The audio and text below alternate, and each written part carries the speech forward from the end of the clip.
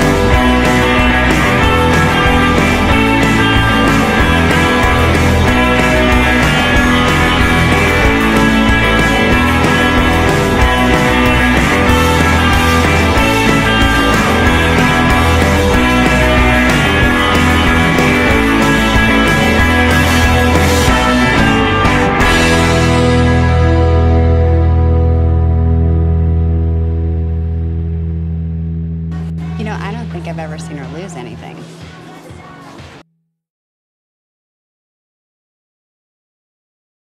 It's okay. It's okay. All right. You did a great job.